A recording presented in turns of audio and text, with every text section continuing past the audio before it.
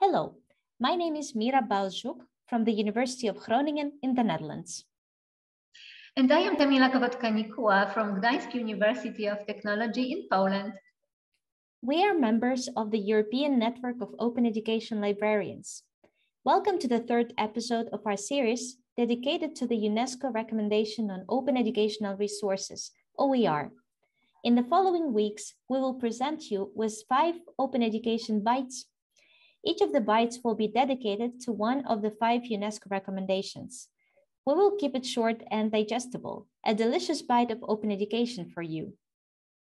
Today, we'd like to dive deeper into the first area of action addressed by the recommendation, namely the one on capacity building.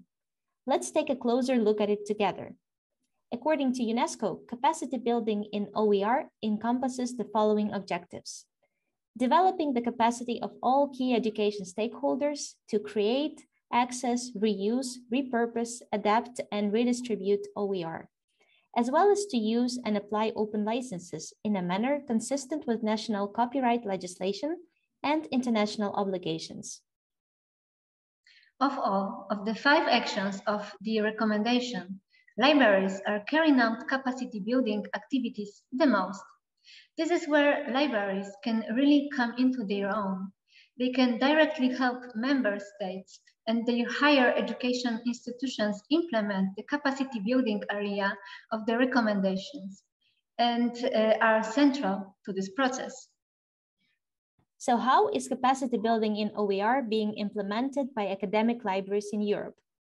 To answer this, let's take a look at the findings and recommendations of the annual report Open Education in European Libraries of Higher Education, commissioned by SPARC Europe in 2021. The aim of this report is to explore what work is being done by academic librarians to implement the UNESCO OER recommendation. The survey addresses the first area of action, capacity building, by asking libraries about their engagement with open education, their library open education advocacy activities, and the skills they need to deliver open education and OER services. Let's first discuss library engagement with open education. According to the report, libraries continue to lead or support open education in equal measure and lead in areas close to their core work. We are seeing an increased number of libraries start focusing on OER and some are taking on more of a leadership role in open education. So what could be done to help enhance library engagement with open education? To start with, libraries can raise awareness of open education and the UNESCO OER recommendation in their institutions. They can do this by using advocacy tools, such as the ENOEL OER benefits, and presenting them as part of trainings. They could hang up posters or share leaflets with colleagues. Uh, this could be fellow librarians, open science colleagues, teachers, or students, for example. Libraries and librarians should also continue taking leadership in open education. They can contact and talk to other movers and shakers and open education leaders in the field, organize events to discuss open education leadership, or talk to their institution's open science leaders on how change was achieved.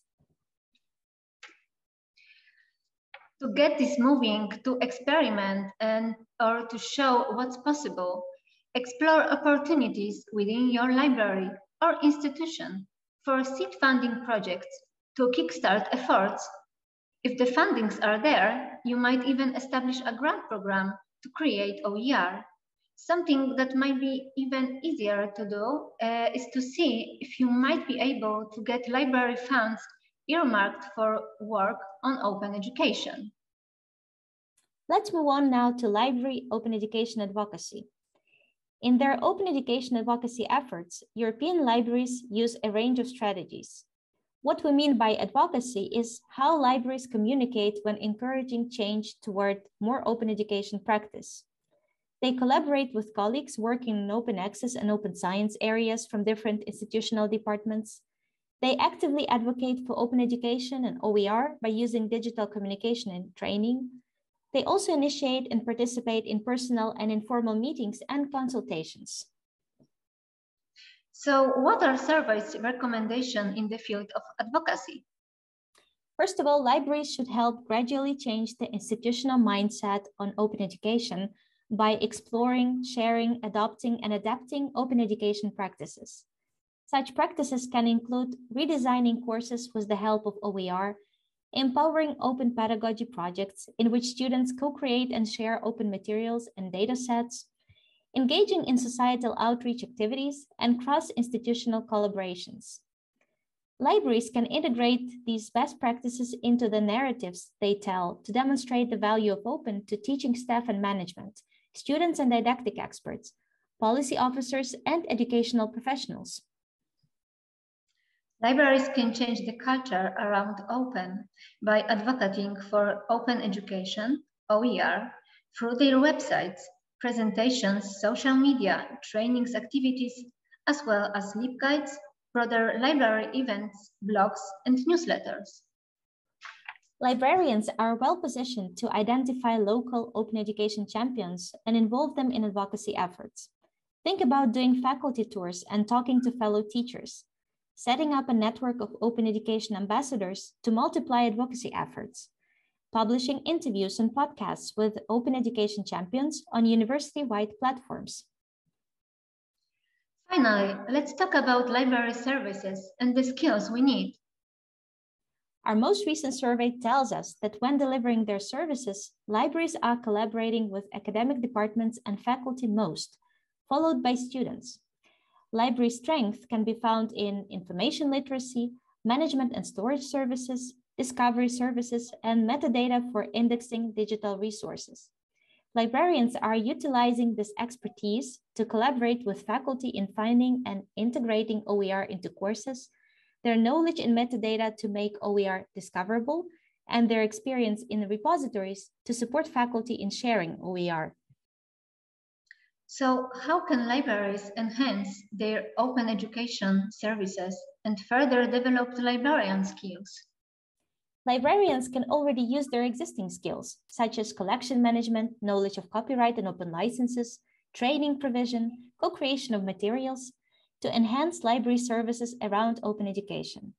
Librarians can engage in the reuse, adoption, adaptation, remixing, and co-creation of OER together with faculty.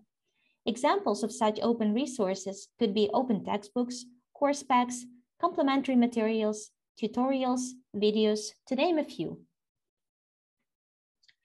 Libraries uh, can encourage their staff to follow trainings in open skills OER reuse, adaptations, remixing, creation, and instructional design. This skill set will be necessary in the future to ensure librarians can collaborate more effectively with teaching staff. Such trainings could be developed internally, building up on already existing materials or requested from external partners and platforms. Librarians should also take a proactive role and identify the skills they have and also those additional skills they might need for open education and OER. This should then be reflected in their professional development plans and monitor upskilling opportunities. This was a closer look at the specifics of the first area of action, building the capacity of stakeholders in OER and recommendations to libraries for implementing it. We encourage you to join our efforts and start organizing these activities at your academic library. Thank you for listening to the third Open Education Bite. The next four will explore other areas of action of the UNESCO recommendation on open educational resources. Stay tuned. Stay tuned.